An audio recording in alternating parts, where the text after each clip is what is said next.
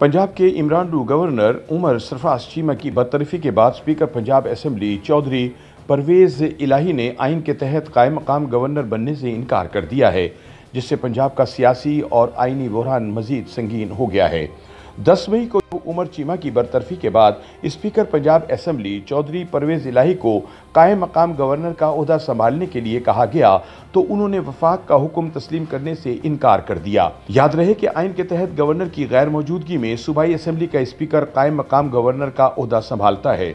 ताहम परवेज इलाही को ये डर था कि अगर उन्होंने स्पीकरशिप छोड़कर कायम मकाम गवर्नर का अहदा संभाला तो इनके मुखालिफ डिप्टी स्पीकर दोस्त मोहम्मद मजारी कायम मकाम स्पीकर बनकर इनके खिलाफ जेर अल्तवा तहरीक अदम एतमाद मंजूर करवा कर इन्हें स्पीकरशिप से भी फारिग करवा देंगे।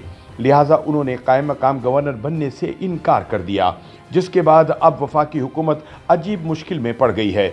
आइनी माहरीन का कहना है कि स्पीकर की जानब से कायम मकाम गवर्नर बनने से इनकार के बाद डिप्टी स्पीकर को कायम मकाम गवर्नर बनाया जा सकता है। यूँ वज़ीर अला हमजा शहबाज को दरपेश ये मुश्किल भी हल हो जाएगी कि इनकी काबीना को हलफ कौन दिलवाए। ताहम तहरीक इंसाफ के हलकों का कहना है कि डिप्टी स्पीकर किसी सूरत कायम मकाम गवर्नर नहीं बन सकता और अगर ऐसा हुआ तो मामला अदालत में ले जाया जाएगा। दूसरी जानब उमर सरफराज चीमा को अहदे से हटाने के बाद वफाकी हुकूमत ने इनके गवर्नर हाउस में दाखिले पर पाबंदी आयद कर दी है। पंजाब की इंतजामिया ने गवर्नर हाउस को नो गो एरिया बना दिया है और उमर चीमा की जानब से गवर्नर हाउस में दाखिले की कोशिश नाकाम बना दी गई है। पुलिस की भारी नफरी गवर्नर हाउस के चारों अतराफ तैनात है, जबकि वाटर कैनन और एंटी राइट्स पुलिस के दस्ते भी गवर्नर हाउस के तमाम दरवाज़ों पर पहरा दे रहे हैं। गवर्नर हाउस के अंदर किसी को भी दाखिले की इजाज़त नहीं है, जबकि मरकजी दरवाजे पर पुलिस की चेक पोस्ट भी बना दी गई है।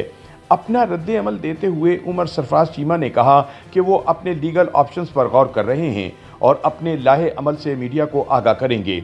उन्होंने बताया कि वो लाहौर में अपनी रिहाइशगाह पर ही मौजूद हैं। उन्होंने कहा कि जब पुलिस तैनात की गई तो वो गवर्नर हाउस में मौजूद नहीं थे।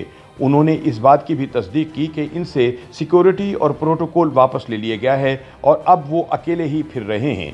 इससे पहले उमर सरफराज चीमा को सदर की जानब से फारिग करने से इनकार के बाद वफाकी हुकूमत की काबीना डिवीज़न ने डी नोटिफाई कर दिया था।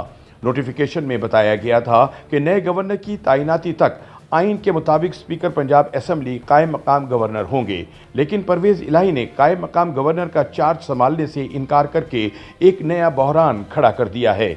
उन्होंने कहा कि हुकूमत ने गैर आइनी इकदाम की फैक्ट्री लगा रखी है और वो गवर्नर पंजाब की बरतरफी के फैसले को तस्लीम नहीं करते। अब देखना यह है कि डिप्टी स्पीकर पंजाब असम्बली दोस्त मोहम्मद मजारी को कायम मकाम गवर्नर बनाया जाता है या कोई और रास्ता निकाला जाता है।